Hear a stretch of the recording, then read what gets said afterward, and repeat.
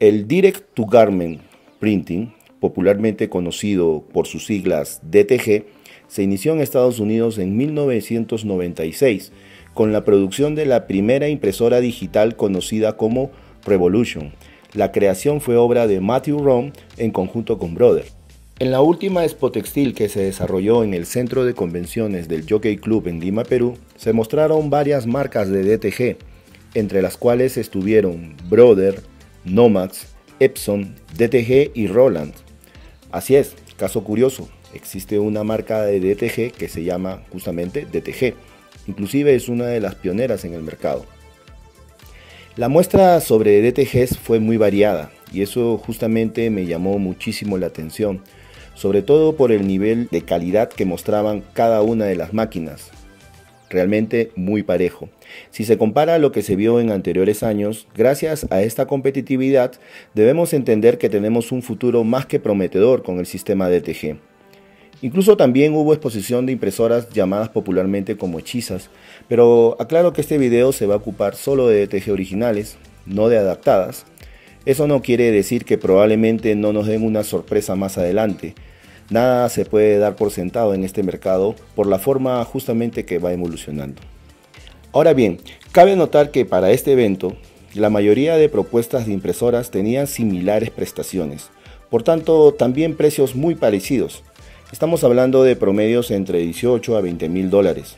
Esto subraya nuevamente que la competencia es clara y que además el presente cada vez se orienta hacia un mejor consumo y solidez de tintas precios más al alcance de las manos de los emprendedores y sobre todo una muy buena propuesta de modelos de alta calidad. Este es uno de los últimos modelos que, que, han salido. Sí, este modelo como tal salió, se lanzó hace dos años. Hay un modelo más reciente que es para producciones mucho mayores. Esta máquina, por temas de costos, estamos hablando solo de costos, conviene tener esta máquina hasta una producción de 1500 prendas por mes, que al tacto no se puede sentir nada, cuando pasa uno el dedo no siente un plástico, no se siente ningún roce, y eso es porque está inyectado en la prenda. Al ser inyectado, lo que hace es que uno la puede estirar, puede estirar la prenda y no se quiebre. No se va a quebrar la, la tinta. Lo bueno es que con esa facilidad que tenemos de inyectar a la prenda, dura mucho más en cuanto a lavados, porque en los lavados resiste o aguanta, por decirlo así, de 50 a 70 lavados. Este es un diseño que tenemos en blanco También pues la, la, capacidad de la máquina de poder imprimir en prenda oscura. Hacerla en prenda oscura es el mismo procedimiento, solo que tiene que tener una base en blanco. Al tener la base en blanco hace que se demore un poco más la impresión, que puede ser de 3 a de 2.5 minutos a 3 o 4 minutos, pero va a depender mucho del tamaño que uno esté haciendo, de la forma, del, del acabado que uno quiera dar. Per pinta blanca, en el modo de impresión, en la textil, idealmente tiene que ser algodón o una fibra natural. La máquina también tiene la posibilidad de hacer en composiciones múltiples, por ejemplo 50 poliéster, 50 algodón puede lograr entonces imprimir hasta en composiciones mixtas. Así es. Como el polialgodón, por ejemplo. Así es. Pero como mínimo, sí o sí tiene que tener 50% de algodón. Pero esta versión es como para una pequeña empresa, para alguien que está comenzando. Sí, puede ser una inversión para alguien que está comenzando, para una mediana empresa. ¿Tiene un formato de área de impresión de un máximo de 35 por 40 o se puede ampliar? Sí, se puede ampliar. El 35 por 40 es la base que tenemos acá. Okay. Esta es la base que incluida en la, en la máquina. Después tenemos un accesorio que es mucho mayor, mucho más grande, que es de 53 por 41 centímetros. Ok. Si nos vamos a ver en capacidad de rendimiento de las tintas, esta, este diseño en tinta blanca consumió 1.5 centímetros cúbicos en 1.5 minutos, más o menos, un minuto y medio. Ok. Y eso equivale eh, en dinero, equivale a unos 5 o 6 soles. O sea, en una prenda blanca, un diseño de más o menos, esto me dirá pues unos 28 por 28 centímetros aproximadamente. Sí. Estamos hablando, ojo, sin base, estamos hablando de unos, a lo mucho un dólar y medio por ahí. A lo mucho un dólar y medio, así es. Pero esto es obviamente el costo de la tinta, ¿no? Fuera del costo depreciativo de la máquina, etc, etc. Solo costo de impresión de la tinta sería de 1.5 dólares aproximadamente. ¿Y qué porcentaje o qué costo tendría si es que esto tuviese una base? Si tuviese una base que sería un líquido de pretratamiento, Ya como algo así como está ahí. como para negro, como para, para blanco, el líquido de pretratamiento sería un dólar más o menos. apro- Ok. Y la tinta, bueno, hacer una prenda oscura, tiene que tener una base blanca. El consumo de la base blanca incrementa. Y ese sería un, unos 3, 4 dólares. Y eso es justamente lo primero que se observa en el DTG, el costo, el precio de una máquina, el precio de la impresora. La inversión que se debe de realizar en principio con una impresora como esta.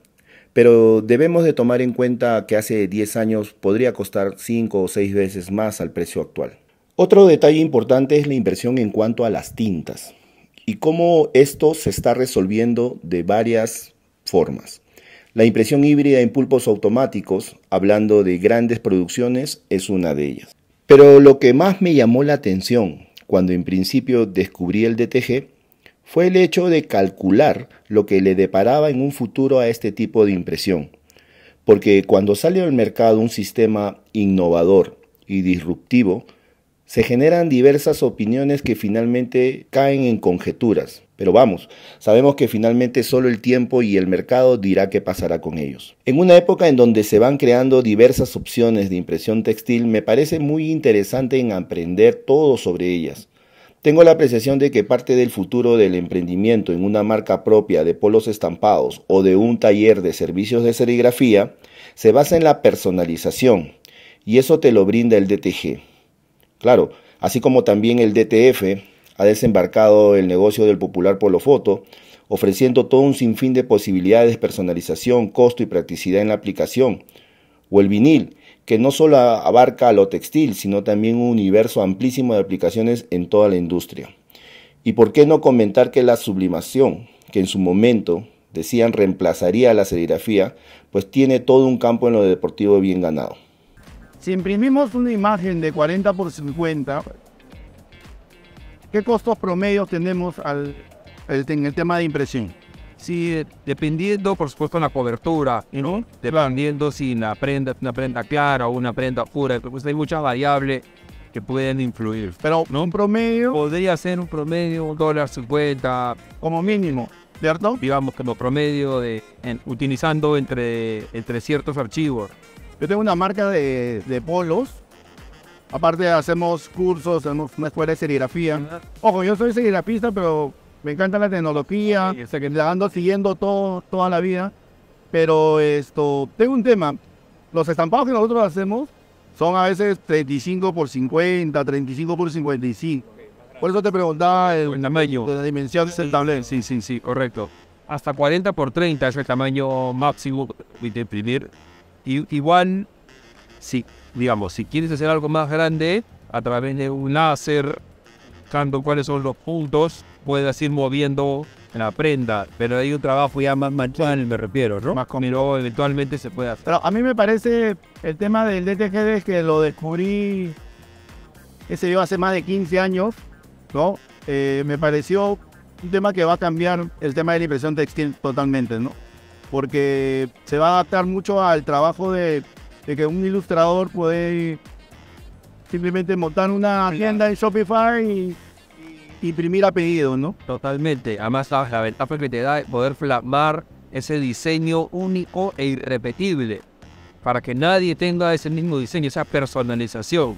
Y además, tema ecológico también es muy importante, ¿no? que hoy en día las empresas y, y los mismos consumidores, los mismos usuarios están utilizando. Porque el tema es de que finalmente muchas personas, lo primero cuando tú le enseñas algo de E ETF, ETG, sublimación, vinilo, lo que sea, o cualquier novedad de impresión, lo primero que dicen, oye, esto va a reemplazar la serigrafía. No, pues, cada uno tiene su espacio, cada uno tiene su público, ¿no?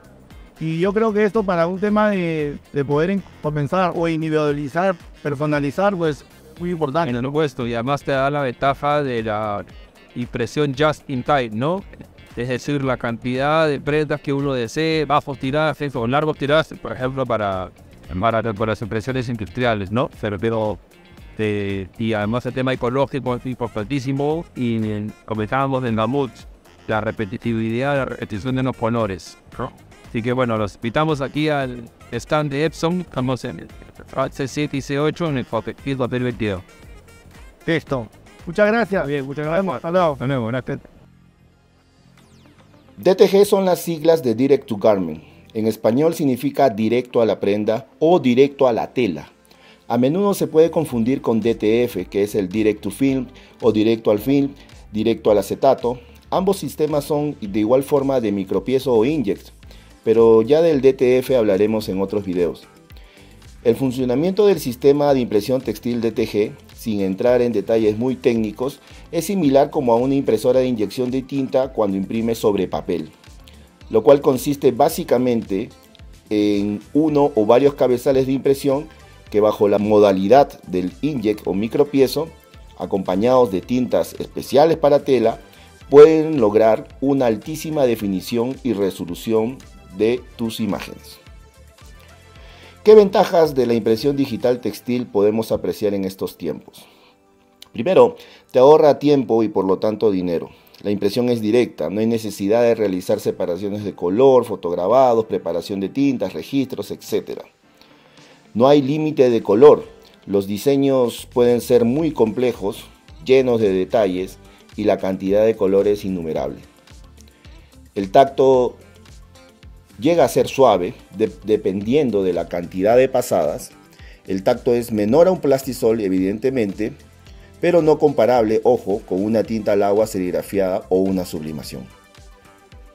La solidez al lavado me parece que todavía es un reto pero que percibo que se mejora en cada versión de impresoras, en cada desarrollo de tintas, y que supongo que en algún momento puede llegar a compararse con la serigrafía. Esto también depende en cuanto a la solidez al lavado, del grado de vigorosidad del lavado que se aplique a la prenda. El hecho de poder imprimir una sola prenda por diseño la convierte en una muy buena opción en este segmento porque incluso imprimiendo 10, 20 o 30 prendas sigue siendo rentable, no solo por el costo de impresión por prenda, sino también por todo el ahorro en tiempo, logística, el setup de la serigrafía y los requerimientos mínimos para poder imprimir bajo esta técnica. Toma en cuenta que esta tecnología también presenta diversas opciones para imprimir varias camisetas al mismo tiempo o incluso ya existe tecnología, impresoras mucho más grandes que pueden imprimir la tela en rollos bajo diseños, digamos, hechos en rapport. Porque en serigrafía lo máximo que llego en resolución creo que son 400 dpi en cuatricomía. Acá llegamos a 1200 dpi. Triplicado obviamente es un trabajo más interesante de lo que podemos lograr. Y el tacto como vemos es un tacto muy amigable, es un tacto suave. Así es. Ahora, la máquina también tiene la capacidad de hacer la técnica de la cual todos hablan, el DTF. ¿Así? Perdón. El DTF es este tacto. La calidad de impresión es buena, pero el tacto que se siente es más tosco. Es por la poliamida que genera él. Entonces, la máquina puede hacer ambas técnicas, tanto por este DTF como DTG. La diferencia está que cuando hace DTF va a imprimir sobre la lámina plástica y después se le va a mandar al secado. Y acá en DTF sería, en DTG sería solamente directo a la prenda. Y con eso tendría que cubrir mi, mi estampado, ¿no? Para todo lo que yo quisiera lograr.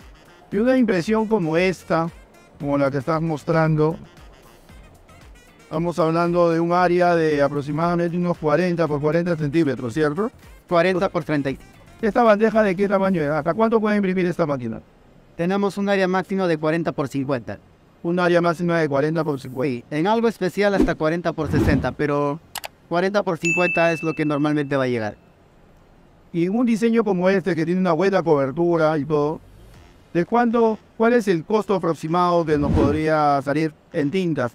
¿no? En costo tinta, esta máquina me puede desarrollar este diseño a un valor de más o menos 3 soles 80. Costo tinta. Con todo y base. Con todo y base. Con todo y el pretratamiento y base. Eh, de ahí ya tendría que adicionar costos de depreciación de máquina, la luz. Y bajo todos esos costos, usualmente, ¿cuánto cuesta un estampado de DTG? Los que hacen servicio ahorita te deben estar cobrando un estampado de este tipo 8 soles más o menos. O hasta más, ¿no? No hasta más, ¿no? Dependiendo de qué tanto le vas a dar la- el acabado, la personalización, letras, no lo sé, depende, ¿no? Ahora, hay un detalle con el tema de las, de las impresoras DTG en cuanto a los cabezales, en el sentido de que cuánto tiempo de inamovilidad puede tener una impresora. En el caso de este modelo, la máquina puede estar 30 días sin, sin imprimir y después de 30 días hago una pequeña prueba y la máquina va a seguir tranquilo. Esta impresora, ¿cuán- para este diseño, más o menos, ¿cuánto se demora en imprimir? En, en una hora tendríamos 10, 10, ok. una hora 10. De reemplazar un cabezal, ¿cuánto costaría? Eh, un cabezal en reemplazo estamos hablando de 1500 dólares. ¿No? Que lo puedo dividir entre la cantidad de polos que pasó en dos años estar dentro del costo de... y me va a salir. Ahora, a nivel de, de tacto, o sea, del acabado del tacto, incluso la solidez al lavado, conforme va avanzando el modelo, ¿está mejorando? ¿Cómo, cómo lo ves tú que estás ya hace tanto tiempo con este tema de la ET? En realidad el tacto no cambia. Sigue siendo un tacto suave. El tema de, la- de los polímeros siempre están ahí, siempre. Porque la base blanca, como tú sabes, siempre va a más generar... el polímero y todas las tintas. Entonces, es, sigue siendo serigrafía, no escapa. Es digital, pero sigue siendo. Su naturaleza es esa. Lo que sí podemos añadir es que en los nuevos modelos hemos logrado hacer un método mix. El método mix quiere decir que en Híbrido. el híbrido yo puedo tener mi mesa, mi cuadro con el- la, base de, la base blanca. Cuando imprime la base blanda. Agarro la base blanca, la imprimo, la traigo acá, hago el color, hago ese calzado, se puede. Esperaba ver esta máquina acá en este. No, no, no, nos ha faltado tiempo, pero sí. Joder, eso es que en realidad las, las, las marcas Renault están trabajando ya con están en los pulpos híbridos, como le llaman. Sí, sino que un pulpo híbrido es mucho más caro. Pero ese híbrido que te digo lo podemos hacer acá. Yo traigo mi cuadro, revelo el negativo de esto, estampo, traigo acá, lo calzo y trae esto. Para una prenda va a ser un cal... Para una prenda en realidad ese método no serviría. Pero si me dicen, necesito producir 50, 100, ese método me sale mucho más a cuenta porque minimiza el costo de la tinta blanca, bueno, totalmente. En eso, casos. Adicionalmente a eso, yo podría trabajar en dischar y trabajaría un tacto mucho más cero con la técnica de... A ver, espera. Ahí quiero detenerme ahí.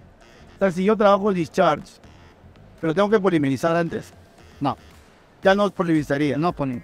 Entonces, el polímero, el polímero exclusivamente trabaja para la base. Exactamente. O genero solamente la base. Y bien, bajo una mirada segmentada, quizás la principal desventaja que tiene una DTG es el costo de impresión. Por ejemplo, si se compara frente a la serigrafía aquí en Perú, en un taller MIPE, un taller pequeño, ya les resulta ligeramente rentable y por tanto aceptable recibir servicios de mínimo 50, 60 o 80 prendas por diseño.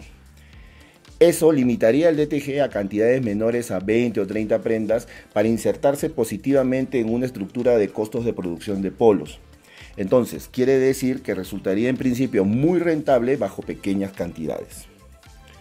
Ahora bien, una DTG consta básicamente de 5 tintas, 4 CMYK y una en blanco, que se usa generalmente para la base. En otros modelos hay más variantes, pero lo que vamos es que en cuanto a costos, el blanco o la tinta blanca ha resultado de costo más alto frente a los CMYK incluso juntos. La proporción es muchas veces de la del doble. Esto es porque la cobertura de una base blanca o de la primera tinta que se imprime tiene un consumo mucho más alto. Por tanto, si a eso se le suma el costo de la tinta, pues debemos tomar en cuenta que quizás el ETG en telas claras, en donde no se utiliza una base, podría ser, en costos, altamente competitivo frente a la serigrafía textil. Debemos sumar el mantenimiento de una impresora que también genera consumos siempre y cuando no se utilice permanentemente. Al mantener una máquina en actividad, debe ser de tomado en cuenta en cuanto a los costos, asimismo la duración de un cabezal, que finalmente son costos depreciativos que todo emprendedor debe tomar en cuenta, así también como los costos de venta, etcétera, etcétera. Muchas de las máquinas, en principio, eran solo aptas para algodón, pero en la actualidad también se puede utilizar o imprimir sobre telas con algún contenido de poliéster. Finalmente, cuando se habla de altas producciones en cuanto a cantidades, probablemente el DTG tenga una desventaja, en algunos casos, en productividad frente a la serigrafía.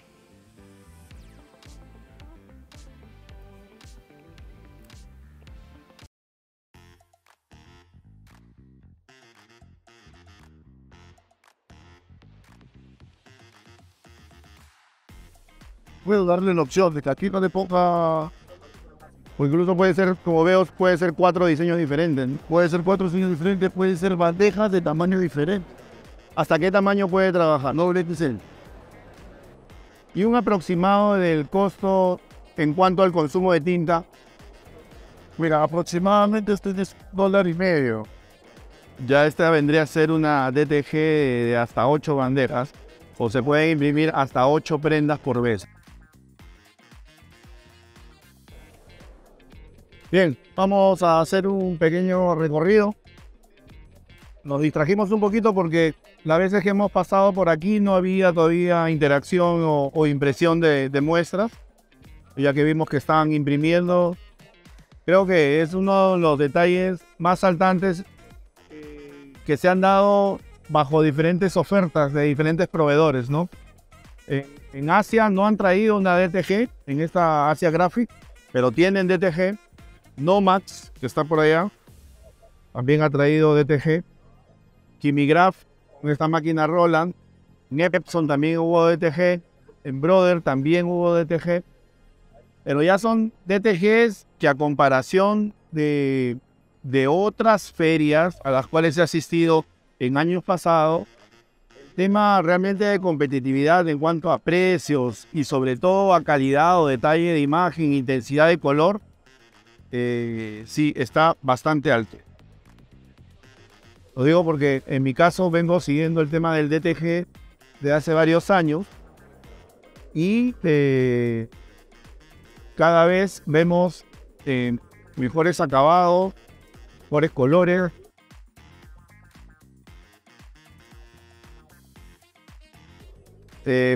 solo algodón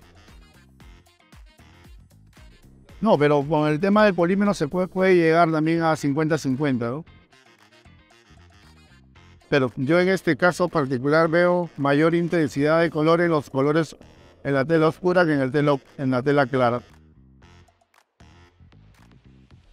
El color negro. Yo creo que en la tela blanca no debieron ponerle la base blanca.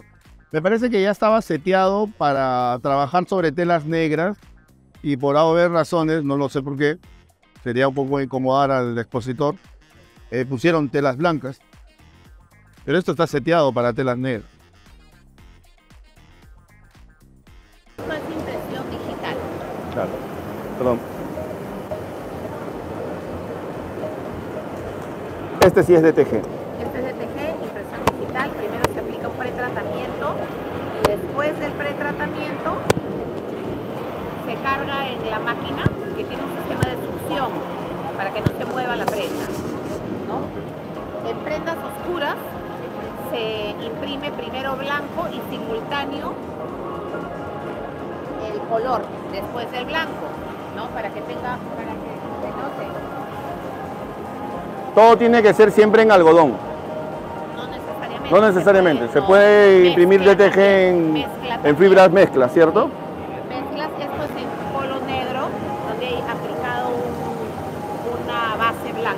Para darle vividez a la imagen. Perdón.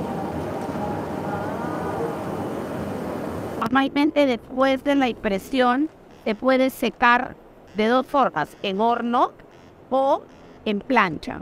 Si uno le pone plancha, puede resultar con una apariencia como un tipo de brillo.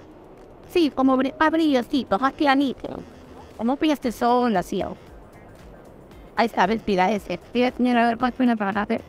Eso es como una base blanca para dar pena nitidez a los colores. Eso es impresión digital.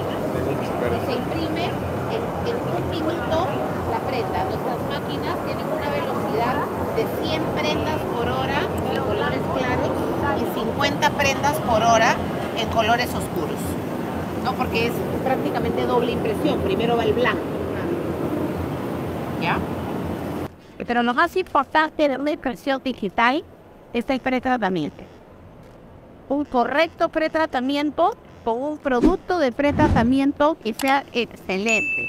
Uno puede tener la mejor máquina, la mejor tinta. Si el pretratamiento está mal aplicado y es un pretratamiento de mala calidad, con ninguna máquina te va a salir una buena impresión digital en pretratamiento.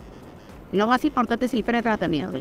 ¿Tienes algún tipo de promedio en cuanto a los costos, tanto en prenda clara y en prenda oscura, ya que evidentemente son Ya, diferentes? Dependiendo, dependiendo eh, la carga de tinta, dependiendo el, la- el tamaño de la imagen, ya puede fluctuar entre 20 centavos hasta 60, 80 centavos de dólar. Menos de un dólar cualquier prenda, ¿no? Un poquito más, un poquito menos, dependiendo el tamaño de la prenda y la cantidad de impresión. La máquina cuánto está.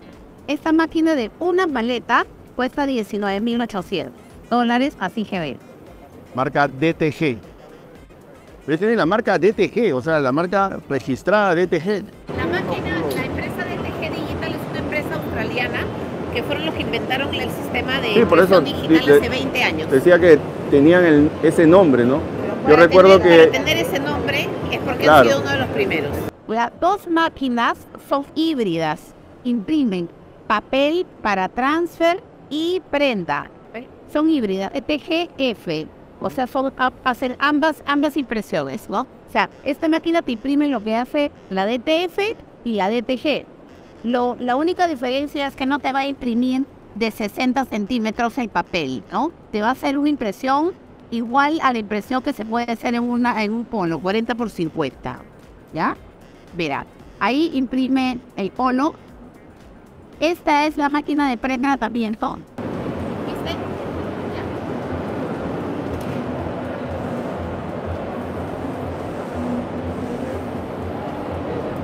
La máquina de TG digital es la que imprime más prendas por hora del mercado.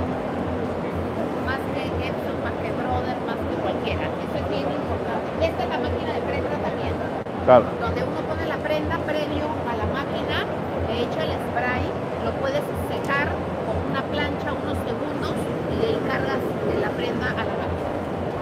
A mi parecer existe un futuro promisorio del DTG y que no debe desmerecerse en lo absoluto de otros sistemas de impresión textil. Más bien ubica a cada uno bajo sus virtudes y, por qué no decirlo, de- también debajo de sus limitaciones. Cada uno tiene lo suyo, cada cual tiene sus pros y sus contras. Mi opinión es que cada una de estos tipos de impresión tiene su propio espacio. No hay mejor ni peor, cada quien tiene diferentes características y restricciones. Lo que sí un servicio de impresión debe de reconocer es que es posible aplicar todas las técnicas actuales en pro de generar soluciones a sus clientes. Esa es, creo yo, una característica básica de la eficiencia de un taller actual, que preste servicios, que es proveer de una solución a sus clientes, solventar un resultado que sea rentable, práctico y sobre todo de calidad. En la actualidad y en un futuro que no me parece tan distante, un emprendedor, un ilustrador o artista gráfico va a poder valerse de estos sistemas para lograr iniciar su primer proyecto y alcanzar una primera colección. O al menos una cantidad reducida de prendas para una muestra, para una prueba, para poder mostrárselo a clientes potenciales, para poder colocarlas en una web, para poder ofrecerlas a través de las redes sociales.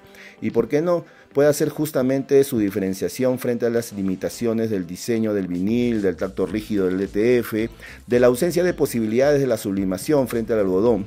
Y, claro está, la baja rentabilidad de la serigrafía frente a las producciones de mínimas cantidades.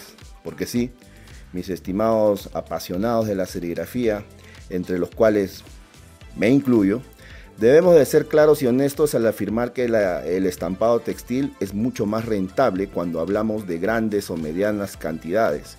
Y bien, Bajo todo este contexto, el DTG es un tipo de impresión que ya es una realidad hace mucho y que poco a poco me imagino se irá ajustando a las necesidades de todo tipo de público.